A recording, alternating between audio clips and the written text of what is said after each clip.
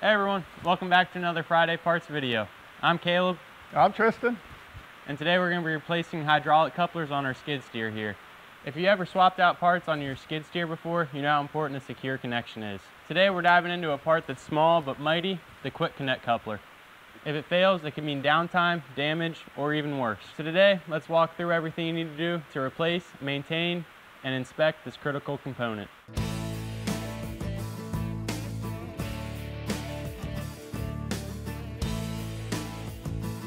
So today we're replacing the two hydraulic couplers here on our skid steer. We just purchased this and it was used for landscaping. Before we get started, safety is key. Make sure your skid steer is in park, the engine's off, and it's on a level surface. And don't forget your safety gloves and your goggles or your glasses.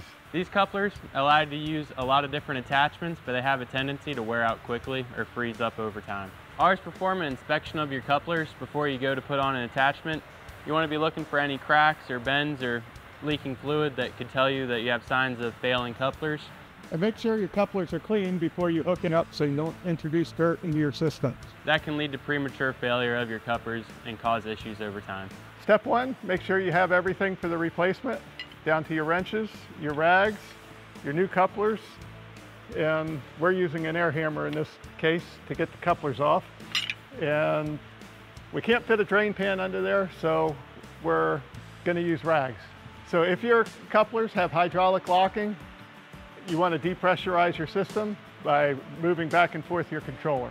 For hydraulically actuating couplers, clean the area around the fittings before disconnecting. This prevents any contamination. Make sure to place your drain pan below where you'll be working, where you're gonna be disconnecting the hoses or where the couplers are. So step two, we're gonna take the old couplers off and put the new ones on. So for that, I will put my safety glasses on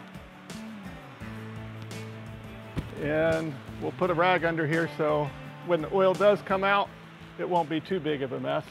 So these have a tendency to stick. Uh, so what we're gonna do is we're gonna use an impact hammer on that that you use for taking off uh, fan clutches.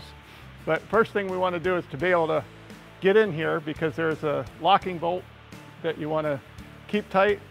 So we're going to take these two bolts out so we can move the unit forward. So I'm going to have Caleb hold the wrench while I loosen the male coupler there. So you'll want to replace your O-ring while you have this off. You don't want to reuse an old O-ring if you're replacing your couplers.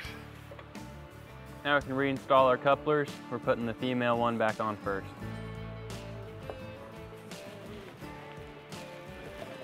Doesn't have to be super tight because it's got an O-ring on there. And there goes our male end. It sure will be nice to have new couplers on here that work. Now I reinstall our bolts that hold the couplers in place. You want to make sure all your connections are clean before you reattach them.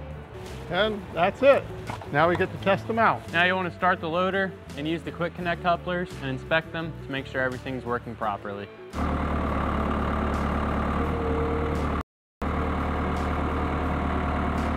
If you're operating a hydraulic system, check for any hydraulic leaks at the fittings and make sure to look closely while the system is pressurized. If anything's wrong, shut the loader down immediately and retighten your fittings.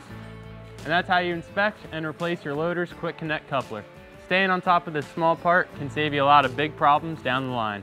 So like always, check your owner's manual for any torque specs or machine specific steps. And don't cut corners on safety and quality grease. If you found this video helpful, make sure to like and subscribe if you want to see more videos of tractor maintenance guides from Friday Parts. Fix it once. Fix it right. See, see you, you, next time. time.